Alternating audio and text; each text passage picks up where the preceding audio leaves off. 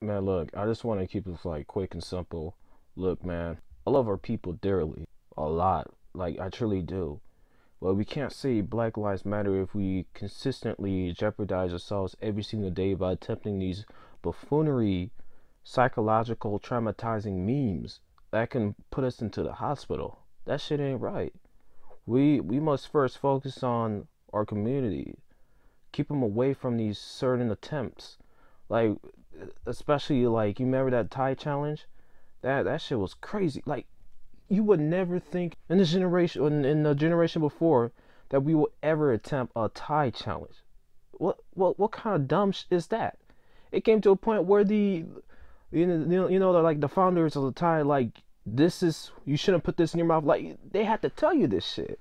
We put ourselves in these predicaments where we end up just making stupid decisions with our lives.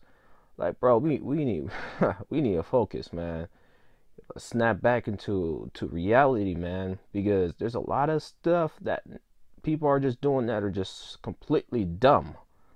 And we're falling for it. Monkey see, monkey do what they do, you do too, because you don't want to be left out. You are literally the sheep that's led to the slaughterhouse. You're literally saying meh instead of saying nah.